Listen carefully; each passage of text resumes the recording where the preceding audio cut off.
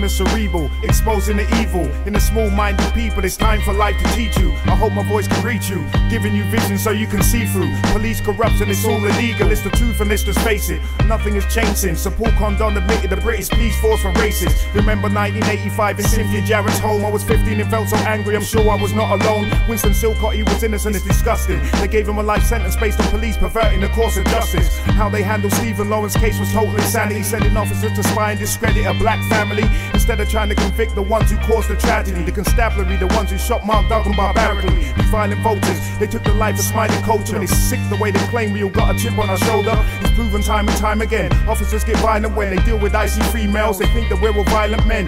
They'd like to see us all inside the pen.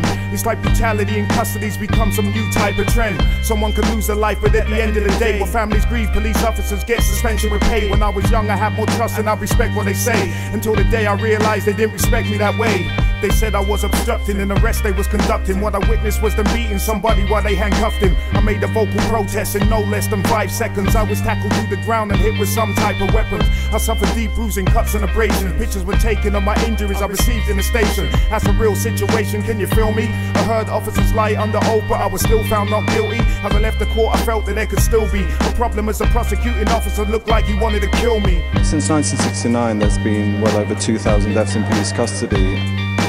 Injustice and corruption, how much more can we handle? Too many deaths in police custody and vigils with candles. The victims and the families caught up in these scandals are handled inhumanely like the relatives of Django. From Sean Riggs to Leon Briggs, their lives were taken. If you believe the police are honest, then you're quite mistaken. And I can see that they don't like the Asians like Jamaicans. They say we're violent in the station and lie in their statements. At least 80% are racist and they're white Caucasians. We treating people of color like they're some type of aliens. Christopher Alder was a great British soldier, treated like a piece of meat by police because of his culture. Unlawful killing and negligence. Officers making monkey noises on CCTV tapes that were used as evidence. But even seeing the footage and knowing the racial elements, the IPCC accepted the officers' testaments. The Independent Police Complaints Commission seemed to double up. Its internal police cohorts who helped to cover up. Out on the streets, I feel in danger from this gang carrying metal crosses, pepper spray, automatic guns and tasers. I'm not trying to blow it out of proportion. 800 or more custody deaths in the last 10 years, so I step with caution. And why the heck would I respect this type of law enforcement? Black or white, we all have rights and it's time to enforce them. Since 1969, and that's a long time that one officer has been convicted of these custody death crimes. Is it coincidence and not skin tone that seems to influence the percentage of black people involved in these incidents? To them, it's like our lives are insignificant. Then they claim the victim when people start to riot and get militant.